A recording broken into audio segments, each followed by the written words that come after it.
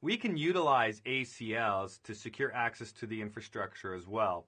I want you to picture your infrastructure right now. What do you have? Well, you have a router connected up to the internet, probably. Maybe you have a data center, and you have all these different sections of your infrastructure. Well, you want to protect those different areas because those different areas, those different sections are going to provide different services and features and resources to the users within the organization. However, not everybody needs access to those servers or those resources. Not everybody needs access to and from the internet.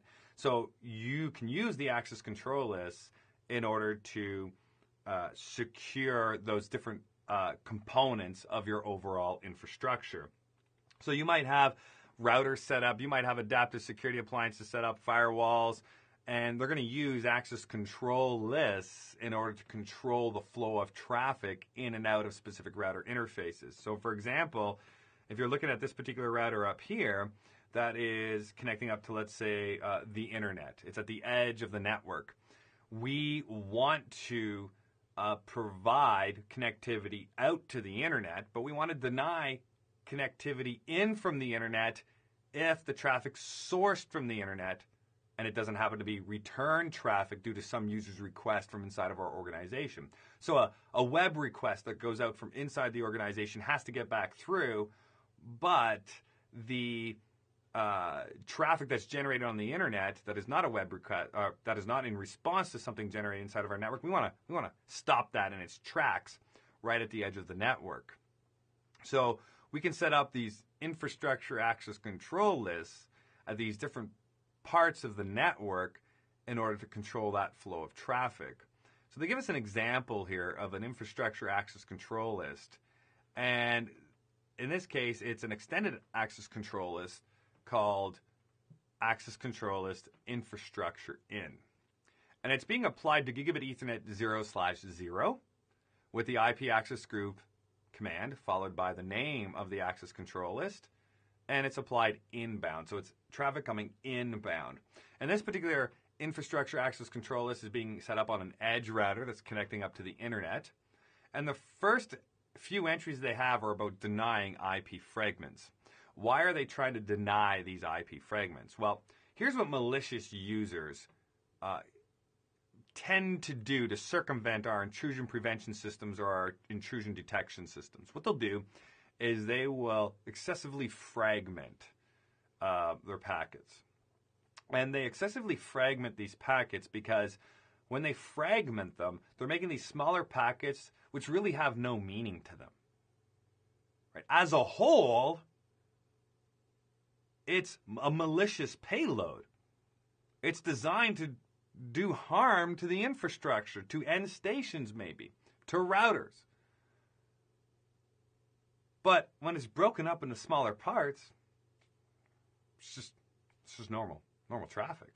Because we can't analyze that intrusion prevention system or detection system can't analyze it as malicious traffic because it's not recognizable as malicious traffic. So what we can do at the edge of the network is we can deny these fragments, these smaller, broken up, fragmented, excessively fragmented packets to ensure that the malicious user can't use that as a way to circumvent the intrusion prevention systems in our organization. Therefore, we can stop their malicious payload before it gets any further into our infrastructure.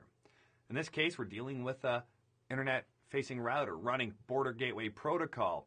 And since we're running border gateway protocol, if we're denying packets inbound on the interface, we are going to have to permit we're going to have to permit the BGP uh, protocols we're going to have to permit the BGP port numbers. So what protocol does BGP use? It uses TCP utilizing port 179. So we have to make sure that we're able to successfully establish our BGP neighbor adjacency uh, out of this particular router interface, even though we're trying to deny all of their traffic. So this particular permit statement here is going to make sure that if we are the BGP client, we can uh, form that neighborship with the BGP server. So the other device would be using port 179 and we'd be using an ephemeral port. Uh, but in reverse, if we were the BGP server, we would be listening or using port 179, and then the other station on the other end would be classified as the client. So as you can see, both these access control list entries um, are needed here because with BGP unless you specifically identify, oh, this is going to be the device using port 179 all the time, and this device over here will be using uh, an ephemeral port. Unless you manually set that and specify it, you really don't know which one's going to be the server and the client. So we've got both covered here to make sure that if they're the server, hey, we can be the client. If we're the server, they can be the client. We will successfully form our BGP neighbor adjacencies. In this case, we are now looking at an entry for SSH. So SSH is being permitted inbound. So uh, remote stations outside of the organizations that are uh, potentially either one station or a station that's part of a group of stations, a allowable IP range of uh, devices that can town that in. We can see that uh, listed here. They're going to be permitted. Think of a remote office.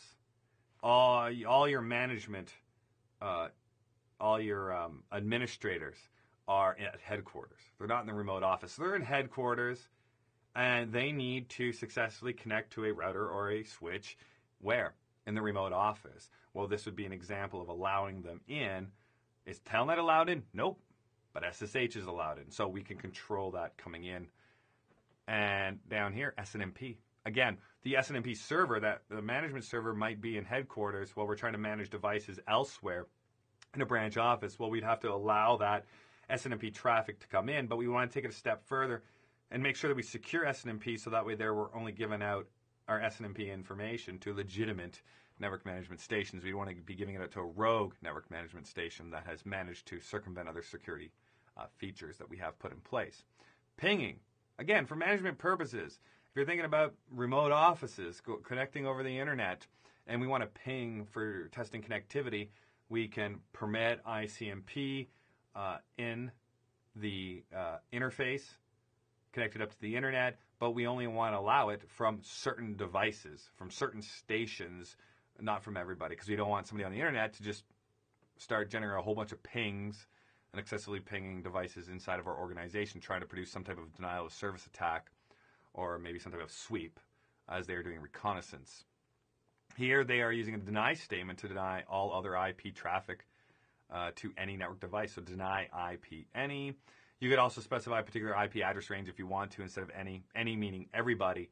But if you had a particular address space that you wanted to deny uh, from being able to connect into your infrastructure, then you can deny that here. And then if you want to permit other type of transit traffic coming in and out of the interface, you can do a permit IP any any at the end. So this will catch everything that doesn't um, get caught by any of the other entries that we have in this particular access control list called ACL infrastructure in.